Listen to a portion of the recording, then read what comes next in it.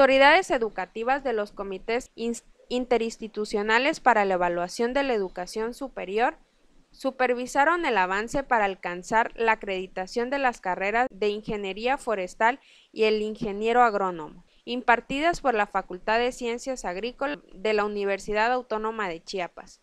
Las autoridades verificaron las recomendaciones que se les hicieron con anterioridad como parte de este proceso de acreditación, que tiene que ver con la vinculación de los alumnos con el sector productivo, la instalación de laboratorios donde los alumnos puedan hacer sus prácticas y la instalación de maestros de tiempo completo para estas carreras.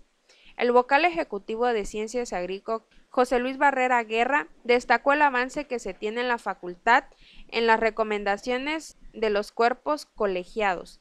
Sin embargo, reconoció que llenar todos los requisitos que requiere el comité puede ser complejo en relación a que se debe destinar mayor recurso en infraestructura.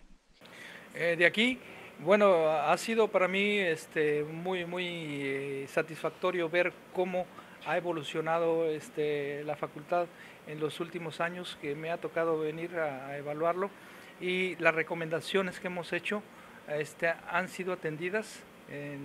Desde luego no es lo mismo atender una recomendación que otra. Hay unas recomendaciones que son académicas, que simplemente un cuerpo académico se puede reunir y tomar acuerdos, pero hay cosas que requieren recursos económicos que no son fáciles y, después de pasar de cierta cantidad tiene que someterse a, este, analizar cuáles son los más convenientes, a, quién se le da, a qué empresa, en fin, es eh, algo que no es sencillo.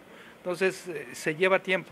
Por eso a veces las recomendaciones que se, que se dan para un programa eh, puede llevarse dos o tres años en cumplirse. Dijo que esta visita de las autoridades de los CIES se oficializará en breve para poder acreditar a estas carreras agroquímicas que son fundamentales en el desarrollo del sector en, la, en esta zona.